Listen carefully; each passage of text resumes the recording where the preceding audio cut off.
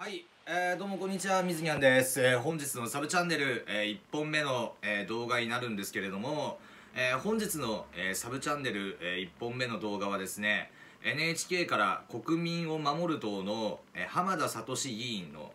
えー政策秘書を務めている、えー田中健さんが、えー何かの、えー役職を、えー辞職する願いを NHK から国民を守る党の、え上杉隆さんに提出したという、えお話が、え舞い込んでまいりました。でまあ現段階で、えそのですね辞職願いというものをですね、え上杉さんが預かってるみたいでで、まあ、今後ですね、まあ、党として、えどういう対応を取るのかに関しては、え非常に、え不明確な、え形になっています。で、まあ、その今回ね、まあ、その公設秘書を、まあ、辞任するのか。でそれともね、えー立花隆、えー無料無責任相談会の,、えーその担当えーを、えー辞任するのか、まあ、NHK から国民を守る党といえばですね今までも、えー散々ですね、えーフェイク、えーかけてきたものなんでで、まあ、一概にね、えー辞職届というも辞任届というものが、えー提出されたとしても、えー公設秘書とは限らないよねっていうようなお話。でもしね、えー別の役職かもしれませんよねっていうことだと、えー思います。でまあその今回ね、まあ、その何が、まあ、引き金になったのかって、まあ、一番の要因は僕は、まあ、平塚さんと、えー田中さんの、えーバトルだとで思うんですよ。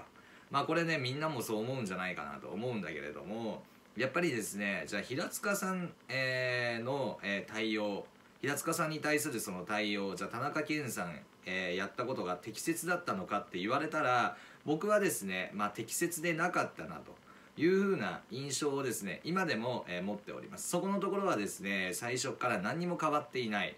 でやっぱりですね、え公職にこうある立場の、え人間がですねまあ一、えー民間人である、えーねえー平塚さんに対してでああいう行動ああいう横暴な振る舞いをしてしまったらそれはもう世間から非難されるのって当然だと思うんだよね。でもちろんその平塚さんの、えーあの行動行為っていうのがじゃあ全てがじゃあ正当化されるものかって言われたら、まあ、別のところもそれあるよっていう。ただやっぱりねあの党の、えー結局、まあ、そう政治活動の一環として行われている、えー無料無責任相談会であれをやってしまったらそれこそ党のメンツだってこう汚すことになるしであとはね、まあ、そのあそこの、まあ、責任者と言ってもこう過言ではないこう立花隆、えー大先生のメンツもね、えー汚すことになっちゃうよねっていうような、えー話じゃないかなというふうに思ってます。でまあ僕自身としてはまあこれね、えーちょっと面白いちょっと予想してみたいなと思うんですけれどもまああの静岡4区補選、まあ、今年4月にですね開かれる静岡4区補選なんですけれどもはい。であの実はですね、え田中健さんという方が、まあ、出馬をされるんですよ。で、まあ、2017年の衆議院選挙の時に、え希望の党からね、まあ、出馬をされたで元東京都議会議員の方なんですけれども、えー同姓同名のね、えー田中健さんを NHK から国民を守る党より、えーぶつけたらこれまたなんか面白いことになるんじゃねえのっていうふうに思ってる。まあこれはね非常にまあ面白い予想というよりはもうこれ大穴です。大穴。これも競馬で例えるともうオッズがめちゃめちゃ高い予想なんですけれどもこの線もね可能性としては残されているのかなというふうに、え考えてみてます。でまあそのね特にね、まあ、田中健さんなんだけれどもまあその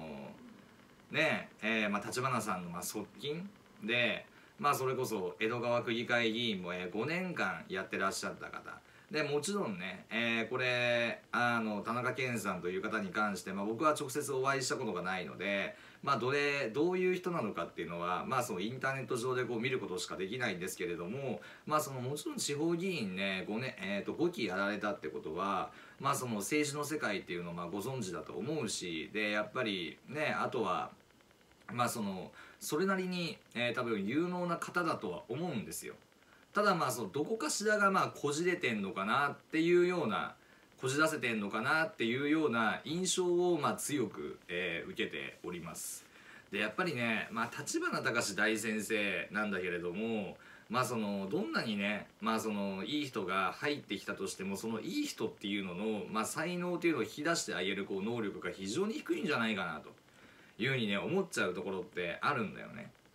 だからまあ立花隆大先生っていうのはまあこれまでねこう党の運営っていうのはワンマンスタイルでこうやってきた人だからまあそのもちろんであればもちろんねやっぱりこうリソース分配って非常に大事になってくるわけですよ。じゃあこのことは、えー、あなたがやってねこのことはあなたがやってねこのことはあなたがやってねそこがだからね不十分なんじゃないかなというふうに思っちゃうんだよね。やっぱりもう田中健さんっていう人ねやっぱりね5期務めてるわけだからまあそれこそね、えー、政策の立案であったりとか議会とかのこう振る舞い方とかであったりとかそういうのをまあ十分こう熟知されている、まあ、方だとは思うんですよ。でその人のまあ働きであったりとか能力っていうのを最大限生かしきれていないのが僕は NHK から国民を守る党ではないかなと。いうふうに思ってる。だからそういう意味ではこう NHK から国民を守る党によってまあ、潰されてしまった人なのかなっていう印象もまあ受けてはいますね。でもちろんなんかね、まあ、その NHK から国民を守る党の内部情報によるとで、まあ、田中健さんっていうのは、まあ、ろくすっぽ働いてないんじゃないかっていう印象を受けているんだけれどもねまあそのねちゃんとまあその議員レクとかね、まあ、あのちゃんとやってらっしゃる方みたいで、まあ、そこはだからねあの全部が全部否定するんではなくて、まあ、評価できるところは評価してで批判するところは批判するでいいんじゃないかなというふうに思ってます。で、まあ、平塚さんとねこう田中さんの、えー、バトルに関して、まあ、僕からすればどっちもどっち。うん。どっちもどっち。だから両方問題抱えてるでしょっていう話だからもうなんかね今更ね、えー、どっちが正しいどっちが間違ってるとかね論評するあれもないと思うけどただやっぱそこっていうのは公職にある立場とね、えー、私の立場で、まあ、そこでね、えー、なんかこう天秤にかけてこう考えなければいけない話だと思うからまあそのねそれがねまあその民間人同士であればもうこれどっちもどっちじゃねえのって思うんだけどやっぱこう公職とね、えー、私詩人っていう立場になるとこれはもうバランスがねこう取れなくなってくる話だよねっていうようにしか僕は、えー、感じられません。で、まあ、今回ね田中健さんが、まあ、何かしらの役職何かしらの立場をね、まあ、辞任されるということで、まあ、それはそれで、ね、あの何かのまあ責任をまあ取る形には、えー、なるんであろうけれども、ねまあ、だからって言って僕はね、まあ、そこの部分に関して、まあ、同情することってのは一つもないかなっていうふうに思う。だって立花隆一人放送局あ立花隆無料無責任相談会かのねあの映像を見て俺びっくりしたもんだって。え参議院会館であんなことなるのみたいな。あんなことやってるのみたいな。えありえないでしょ？みたいな。いう印象しか受けなかったけどね。まあでも立花隆大先生もね、まあ、昨日ね、えー、兵庫県で確かね、無料無責任相談会やっていたんだけれどもまああれもねなんかねカルトの集会みたいになってたね。うん。まああのしょぼい政党の幹事長の、まあ、余木さんがね訪れてでそこでまあいくつかね質問を投げたんだけれども、えー、それに対してね、えー、しびれを切らした立花隆大先生がね、まあ、最後にはね何て言ったかって病気扱いするってそれをみんなでこう笑ってね拍手喝采になるみたいなこれやばい光景見ちゃったなっていうふうになんか思うんだよね。だまあああいう光景ってだから僕今までの経験上だとねまあそのカルト宗教とかであとはねマルチの集会ぐらいしか見たことがないからあれはあれでねビビったし俺衝撃を受けたね。ああいうところって結局なんか中にいる人からしたら まあその客観的なその視点っていうのが客観的なこう人間がどう見てるかってわからないわけですよ。だからどんどんどんどんだからこうドツボにこうはまっていってで NHK から国民を守る党のこう支持者っていうのは減っていくわけですよ。であのやっぱり政治の世界っていうのはこうコアな支持者よりもこうライトな支持者の方が多いわけだよね。まあ、日本人の有権者ってそういうもんだから。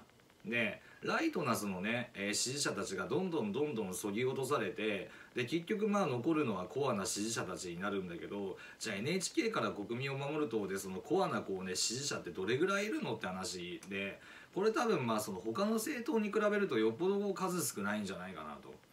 いうふうに、えー、僕は考えています。だそういう意味ではこう支持母体もない。でそしてね、強い組織があるわけでもない。NHK から国民を守る党がじゃあこれからね国政選挙でじゃあ戦っていけるのかってなったら、まあ、相当こうね厳しい末路を僕はたどるんじゃないかなと。いうふうに思ってるし。でまあ立花隆大先生のね、まあ、ムーブとか見てても、まあ、そういうふうにしか受け取れられない。まあ、立花隆大先生やっぱりこう都合が悪い話をされたら、まあ、大声でね遮るかそれか話をそらすか、えー、長々とねえー、なんかそう例え話にもなっていない例え話をし始めるかあとは自分の自慢話を始めるかもうそんなのしかないんで、まあ、だからまあそこの浅さみたいなのが、まあ、昨日のね、まあ、ぎさんの件でも分かったと思うしあとはまあこの間のね参議院会館での無料無責任相談会でも本当に分かったんじゃないかなと。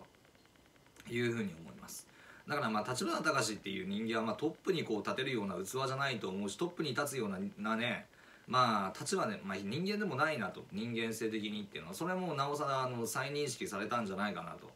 いうふうに、えー、思っております。はい。まあてなわけでね、えもしこの動画が、えー、いいと思った方、えー、グッドボタンそしてチャンネル登録をお願いします。以上みずにゃんでした、え、本日もご視聴いただきありがとうございました。じゃあね。